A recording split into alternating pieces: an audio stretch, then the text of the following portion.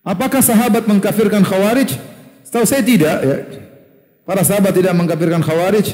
Oleh katanya Ali bin Abi Thalib waktu memerangi mereka, Ali tidak mengambil harta mereka sebagai gonima dan Ali bin Abi Thalib tidak menawan istri-istri mereka sebagai budak-budak tawanan, tetapi dimuamalahi seperti kaum muslimin yang lainnya.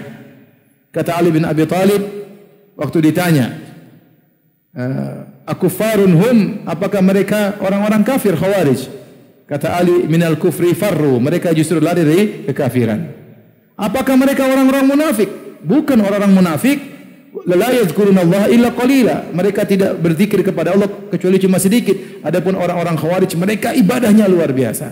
Hum ikhwanuna bagaw alaina. Mereka saudara-saudara kita tapi melanggar, memberontak, maka diperangi. Jadi Ali bin Abi Thalib tidak mengkafirkan apa? Khawarij.